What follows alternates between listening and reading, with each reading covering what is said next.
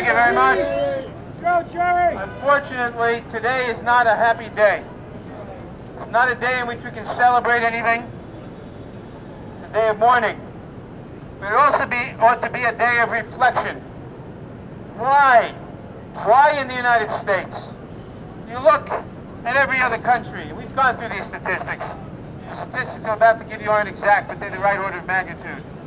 How many people die of guns? Gun deaths in Great Britain, 95. France, 130. Japan, 200. No other country more than two or 300. The United States, 39,000. It's not because we hear that the gun violence is because of mental illness. They're crazy people. Anybody who does this obviously is a crazy person.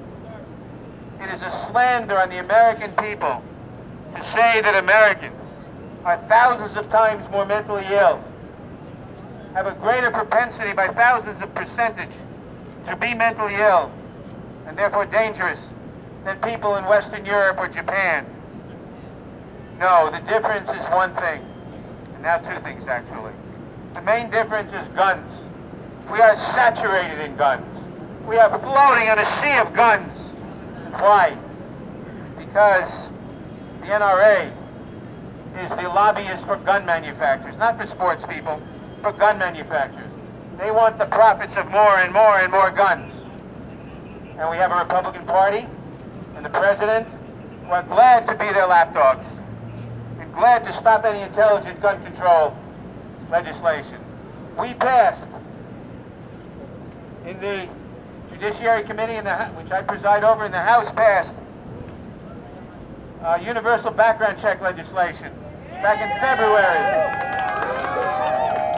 What's Moscow Mitch doing about it? We passed, we passed a bill to overturn the Charleston loophole back in February. Passed it in the House.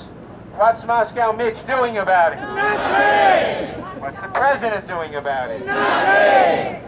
We passed in 1994 a ban on assault weapons and military-style assault weapons. That ban saved lives, many lives, but it expired in 10 years in 2004. And Moscow Mitch and the Republican Party, George Bush, and Donald Trump refuse, refuse to let us pass such a bill again. But we ought to. No one has the right to use assault weapons, military-style assault weapons. Weapons designed to kill as many people as rapidly and efficiently as possible. That's what they are. You don't hunt deer with an assault rifle. The only reason for those guns being in the United States is the profits of the gun manufacturers and the lapdog obedience of the Republican Party and, Mick, and uh, Moscow Mitch and the president to them. So we have to get rid of that. We have to change our laws. We have to pass the Charleston loophole, pass universal gun uh, uh, background check, pass an assault weapons ban, pass a ban on high-capacity ammunition clips, a whole bunch of things we ought to do, and in any sane country we would do. But that's one part of it. And maybe the larger part of it, but it's one part of it. We also need to change the president. Through his racist rhetoric, through his racist rhetoric, talking about people coming to this country as invaders, talking about the infestation of people who are going to commit murder and rape, even though the crime rate among immigrants is lower than among uh, born, natural-born Americans. But teaching people to hate immigrants, teaching people in particular to hate immigrants from, quote, you know what kind of countries, meaning non-white immigrants. This is racist to the core. And it encourages people to act on that racism. We have a problem of white nationalism in this country. We have a problem of white racism in this country. We held a hearing in in our committee a few months ago. The president denies it. The FBI sort of admits it.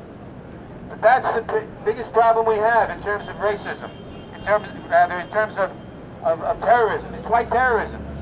Many more people are killed by white terrorism than by so-called Muslim terrorism or any other kind of terrorism. We must admit it, and we must have a president who stops encouraging mass murder through his rhetoric.